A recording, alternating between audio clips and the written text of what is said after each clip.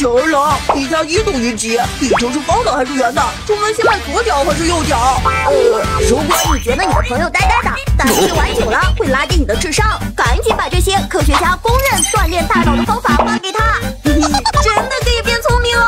研究表明，每天听十分钟莫扎特的钢琴曲 K 四四八，智商会提高八到能力和记忆力也会提高。纯净明亮的曲子能激发大脑的认知水平，这种现象叫莫扎特效应。还可以看字说颜色，不说出这些字念什么，速度要快。黄色、蓝色、白色，早晚各一遍，不仅能预防老年痴呆，还能让你的大脑更加灵活。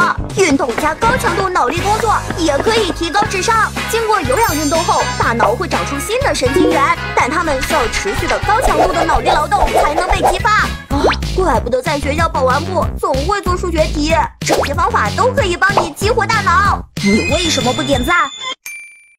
大拇指的长度和鼻子一样，两个拳头周长等于脖子周长。你的身高等于七个脚掌，你的脚掌和你小臂一样长。你的身材比例是五五分哦，我不信。脚跟到臀部的距离是腿长，臀部到肩膀的距离是身长，腿长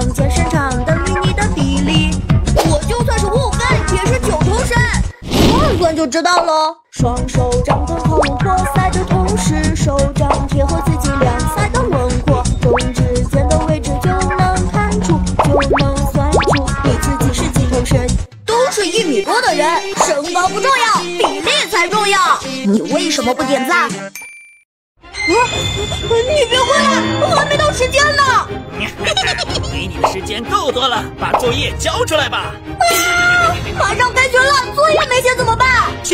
学学我，学学我。不急，我有十倍速完成作业的方法。第一步，五分钟预习法。写作业慢是因为对知识不熟悉，早起先拿课本通读五分钟，可以提高百分之五十到百分之六十的效率。第二步，四色复习法。先浏览一遍作业，拿出四种颜色的笔，灰色写课程大纲，蓝色写需要记忆的公式定理，绿色来写章节相关联的其他知识点，红色写不理解的问题。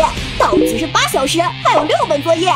第三步，听歌学习法。美国学者研究发现，歌曲的风格和节奏感能够大幅度影响写作业的速度。语文作业听牵丝戏，数学作业听数字人生，英语作业听寂静之声，化学作业听化学反应，生物作业听达尔文，物理作业听青花瓷，地理作业听大中国，历史作业听爱在西元前。